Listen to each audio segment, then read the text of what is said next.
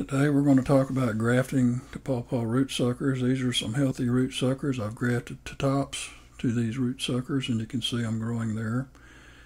Here's a tree that I cut down and I have grafted to some of the branches that came up. They're, the grafts are taking, they're looking good.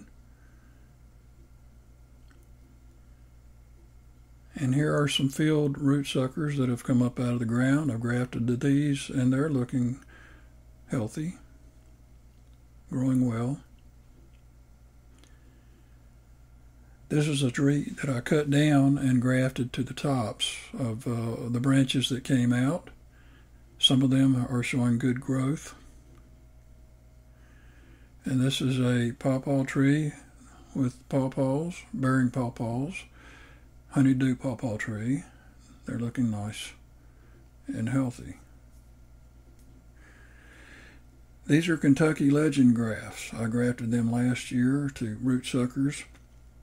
And those are the grafts. You can, cannot see them very well, but they're very strong, looking good. You can see that the trees are healthy.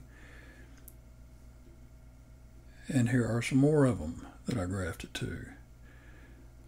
The, I'm trying to show you the grafts here. They're close to my hands there, and uh, they've taken very well. The, the root suckers came from an NC1 that I grafted over here to the right, which I'll show you here in a minute. It's a very healthy tr looking tree, and it has sent out root suckers all over the back of the yard. You can see them going down the side of the house. I'll graft to those next year and my backyard's looking very healthy. You can see the, the trees are very green, very healthy looking.